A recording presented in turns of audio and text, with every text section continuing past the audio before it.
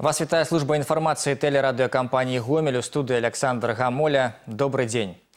У гомельскай вобласці сёлета стварылі звыш тысячы новых працоўных месцаў і ўвялі ў эксплуатацыю больш як 300 тысяч квадратных метраў жылля. Вынікі сацыяльна-эканамічнага развіцця і выканання рэгіянальнага бюджэта разгледзелі сёння на пасяджэнні аблвыканкама. Настасья Кучинская валодае падрабязнасцямі. Па выніках першага паўгоддзя гомельская вобласць выканала даведзеныя ўрадам заданні па экспарце тавараў, прыцягненні прамых замежных інвестыцый і стварэнні новых працоўных месцаў. Таксама добрыя вынікі па жыллёвым будаўніцтве і яшчэ некалькіх важных пунктах. Разам з тым некаторыя ключавыя паказчыкі дасягнуты не былі. Размова ў першую чаргу пра валавы рэгіянальны прадукт. Тут не дабралі два з паловы працэнтныя пункты. Па меркаванні спецыялістаў у сённяшніх умовах гэта не самы дрэнны вынік ва ўсялякім всякім разе сярэдні по краіне. Что помешало нам выйти на запланированный рубеж? Одно практически предприятие. Это наш белорусский металлургический завод, который, к сожалению, пока работает с нагрузкой где-то примерно 77-78%. Без этого предприятия мы имеем 100,5.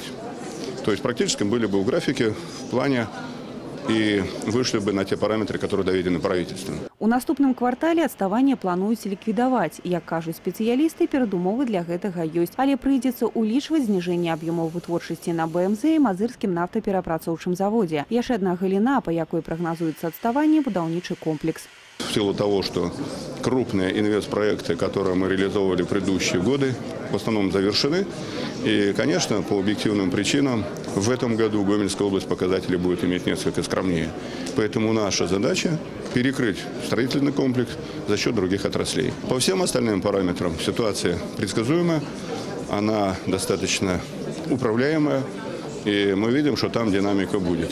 Другое важное пытанне, якое меркавалі на пасяджэнні аблвыканкама, вынікі выканання абласнога бюджэта. Даходная частка склала каля 10 трыльёнаў рублёў. Расходы трохі перавысілі гэтую суму. Разам з тым захавалася сацыяльная накіраванасць бюджэта. У тым ліку вобласць паспяхова справілася з выплатамі адпускных работнікам бюджэтнай галіны і выплатамі адраснай сацыяльнай падтрымкі. Настасья Пучынская, Сергей Лукашук, тэлерадыёкампанія «Гомель». Каля тысячы зямельных участкаў штогод прадастаўляецца жыхарам вобласці для індывідуальнага жыллёвага будаўніцтва. І прыблізна 30 процентаў за невыкананне заканадаўства ў далейшым вяртаецца ў дзяржаўную маёмасць. Аб гэтым сёння на прэс-канферэнцыі паведаміў начальнік землеўпарадкавальнай службы гомельскага аблвыканкама Александр Матарас. Згодна заканадаўству грамадзянін, які атрымаў участак на працягу 12 месяцаў павінен прыступіць да будаўніцтва. Калі гэта не адбываецца, яго чакаюць штрафныя санкцыі, а пасля зямля ўвогуле увогуле можа вярнуцца ў дзяржаўную маёмасць. Само ж будаўніцтва неабходна завяршыць не пазней, чым за тры гады. У асобных выпадках яго магчыма падоўжыць да сямі гадоў. Работы лічацца завершанымі, калі на ўчастку ўзведзены фундамент, сцены і дах. Катэгорыі грамадзян, якія маюць патрэбу ў паляпшэнні жыллёвых умоў, могуць скарыстацца льготамі для больш хуткага атрымання зямлі. Аднак зрабіць гэта можна толькі адзін раз. Калі заканадаўства парушана і як вынік зямля ў гаспадароў адбіраецца, гэтае права справа ў далейшым ануліруецца. Як адзначыў Александр Матарас, часта людзі неправільна ацэньваюць свае фінансавыя магчымасці, што ў далейшым стварае ім праблемы. Многие берут земельные участки на всякий случай, не предполагая о том, что у них есть соответствующие обязанности, и которые влекут для них в последующем негативные последствия. Хотелось бы остановиться на обязанностях землепользователя. Получили участок. Участок должен быть всегда с первого дня получения э, документа о регистрации земельного участка должен быть всегда благоустроен выкашен, должна быть, должен быть порядок на этом земельном участке. В противном случае, опять-таки, как санкции, так и возможность изъятия земельного участка. У гомелі раскрылі сакрэты стварэння шчаслівых сямейных адносінаў. Майстар-клас на гэтую тэму прайшоў у абласным цэнтры ўпершыню. Яго правялі супрацоўнікі аддзела ЗАГС адміністрацыі цэнтральнага раёна. Падрабязнасці ў рэпартажы Ганны Кавалёвай. Інфармацыю пра тое, што ў аддзеле ЗАГС адміністрацыі цэнтральнага раёна Гомеля адбудзецца ўрок шчасця, арганізатары размясцілі ў сацыяльных сетках. Жадаючых прыняць удзел аказалася каля 30 чалавек. Сярод іх як будучыя супругі, якія падалі ўжо заяву ў ЗАГС, так і адзінокія маладыя людзі. Сваім вопытам і ведамі з імі дзялілася сямейны псіхолог Аксана Снапок. Сваім вучням спецыяліст распавяла, як знайсці сваё каханне, разабрацца ў тым, якія ролі павінны выконваць мужчына і жанчына і як напоўніць адносіны паміж імі гармоніяй. Тема очень очень важная, потому что в последнее время очень много девушек и мужчин стали обращаться э, по поводу создания именно счастливых отношений. И знание психологии, знание каких-то маленьких э, секретов и нюансов э, позволяет отношения между мужчиной и женщиной улучшить и быть счастливыми в браке. Дарэчы, гэты год на шлюбы пакуль не асабліва ўраджайныя супрацоўнікі ЗАГСаў звязваюць гэта з тым, што ён високосны і для заключэння шлюбаў па некаторых павер'ях неспрыяльны. Для параўнання ў цэнтральным аддзеле ЗАГС Гомеля ў мінулым годзе за першае паўгоддзе свае адносіны аформілі 408 пар. Сёлета ж на сотню менш, а вось колькасць разводаў наадварот павялічылася амаль у два разы. Я вижу, как приходят пары, как они общаются, иногда даже подавая заявление у меня в кабинете, кабинете, они выясняют отношения, не могут э, значит, э, договориться между собой о времени регистрации, еще что-то. Ну, то есть я просто смотрела, как люди между собой общаются, ну, вот пришла такая идея сделать э, такое мероприятие. Спецыялісты цэнтральнага аддзела ЗАГС спадзяюцца, што падобныя майстар-класы дапамогуць хоць крыху змяніць лічбы статыстыкі, захаваць колькасць шчаслівых пар і што астатнія установы такога ж профілю падхопяць добрую ініцыятыву. Ганна Кавалёва, Ігор Марышченко, тэлерадыокампанія «Гомель». Сегодня во всех храмах и монастских святынях Русской Православной Церквы прошла акция «Слава Табе Божа». Яна прымеркавана до дня хрышчэння Руси. Гомельская и Туровская епархии так само не засталіся ў баку. За ходам акцыі назіралі наши корреспонденты.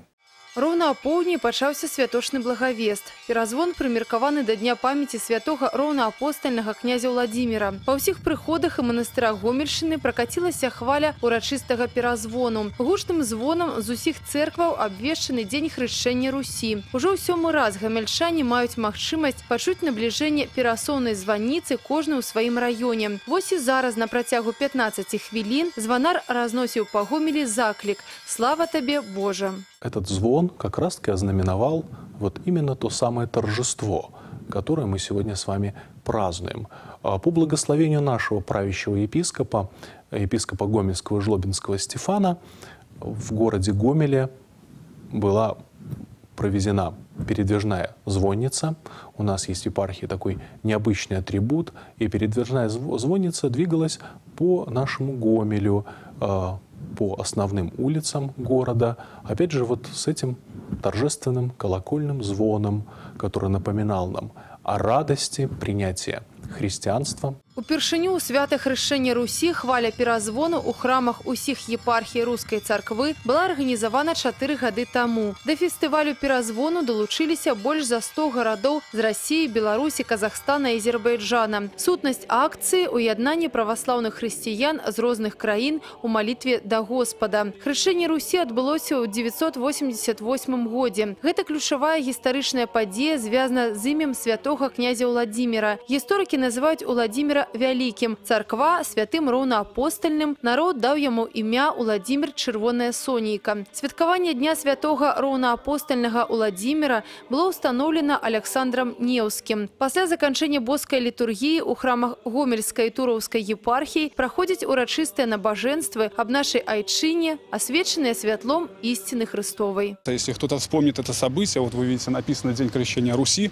вспомнит, что это нам несло, и рука чья-то поднимется лишний раз перекреститься, поверьте, что и ангелы будут радоваться на небесе, и Христос, конечно, совсем по-другому э, немножечко будет смотреть на нас, потому что это будет шаг навстречу Ему. Людмила Чарнецкая, Марина Северьянова, Сергей Лукашук, телерадиокомпания «Гомель». Выратавальнікі выяўляюць мацнейшага. Сёння ў гомелі праходзіць чэмпіянат гомельскай абласной арганізацыі асвод. Удзел прымаюць 15 каманд. Спаборніцтвы праходзяць у чатырох дысцыплінах. Удзельнікі плаваюць на хуткасць, кідаюць на дакладнасць вартавальны круг, дэманструюць майстэрства кіравання лодкай і зладжанасць каманднай работы. Усе практыкаванні частка паўсядзённай працы выратавальнікаў. Галоўнае адрозненне, калі на спаборніцтвах усё вымяраецца секундамі, то на практыцы выратаванымі жыццямі. Так што з падрыхтоўкай усё добра. Пераможцаў выяўляюць у асабістым і камандным заліках. Мероприятие интересное, и э, с каждым разом все интереснее и интереснее э, проявляется вот, ну, у, у работников, у участников. Ну, вот, появляется азарт. Вот, когда мы это дело начинали, было ну, чего греха таить, как-то э, веловато. Ну, вот. а, а сейчас, ну, можете видеть сами, команды болеют друг за друга. На гэтым выпуск завершаны. У студыі працаваў Александр Гамоля. Добрых вам навінаў і да сустрэчы ў эфіры.